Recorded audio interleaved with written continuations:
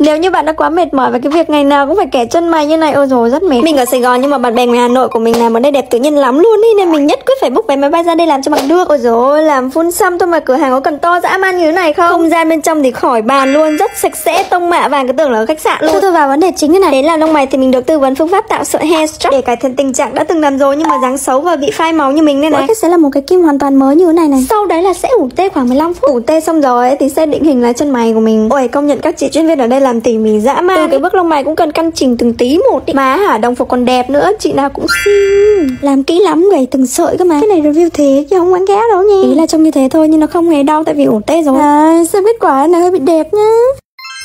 ơi thề là công nhận là quá đẹp luôn đấy là không phải khen quá nhưng mà nhìn dáng chân mày đẹp thật đấy mình thích lắm làm xong mà đẹp hơn cả khi kẻ chèng hàng ngày cơ nhìn nó tự nhiên với cả thanh thoát là lúc đầu nhiều luôn rồi biết thế mình book vé máy bay bay lên sớm hơn đến đâu cũng chả ai khen xinh nữa mà toàn khen chân mày đẹp thôi quả này chắc chắn mình sẽ quay lại đây để chuyển tiếp đôi môi phun cho đỡ nhợt nhạt còn các à? bác thấy quả lông mày này của mình như nào mình luận cho mình biết với nhé